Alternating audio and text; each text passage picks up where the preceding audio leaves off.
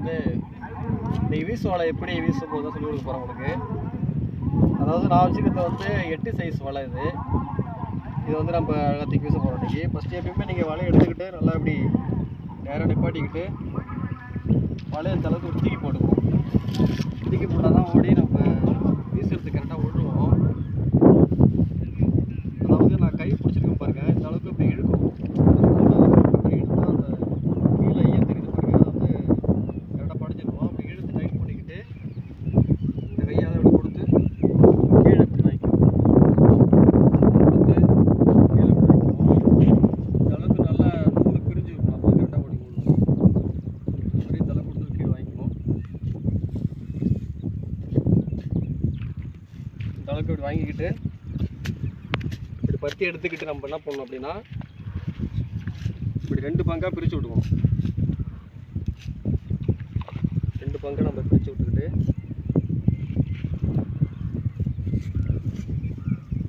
ரெண்டு பங்காக பிரித்து விட்டுக்கிட்டு சென்டரை இந்த பக்கம் எடுக்கணும். அப்படி போகணும் சொல்லி தரேன் பார்த்தீங்கன்னா சென்டர் பாயிண்ட் இருக்குல்ல இந்த பக்கமும் இந்த பக்கமும் இல்லாமல் சென்டரை நம்ம வந்து இதை இப்படி எடுத்துக்கணும். சென்டராக இதை இப்படி எடுத்துக்கிட்டு இதை இந்த இந்த முட்டி கீழே இப்படி கொண்டு வச்சுக்கணும். இல்லை கூட தோலில் கூட இப்படி போடுவோம் இது நல்லா எடுத்து இப்படி தோலில் கூட இப்படி போட்டுக்கிட்டு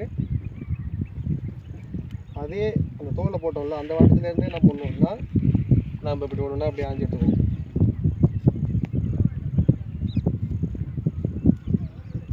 இந்த மாதிரி சிக்கு இல்லாமல் கொஞ்சம் கொஞ்சம் நம்ம ஆஞ்சி எடுத்துக்கிட்டோம்னா பீசுறது கரெக்டாக இருக்கும் இது ஒரு சின்ன வலை தான் வீச ஈஸியாக வீசி வீசிடலாம் பார்த்துக்கிட்டிங்களா இந்த அளவுக்கு மூணு பங்காக இருக்கணும் கையில் ஒன்று இந்த பக்கம் ரெண்டு. இப்படி தரல வீசுகிறோம் பாருங்க.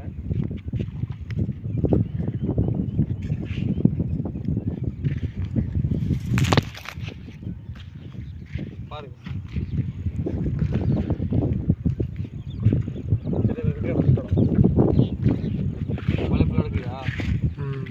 இந்த அளவுக்கு நம்ம வீசினா தான் உள்ளே என்ன மீன் இருந்தாலும் மாட்டோம் நம்மளுக்கு. இந்த அளவுக்கு வலது வடிவு படந்து கிடக்கணும். அதான் வீசுகிற மெத்தடே வேறு எதுவுமே கிடையாது.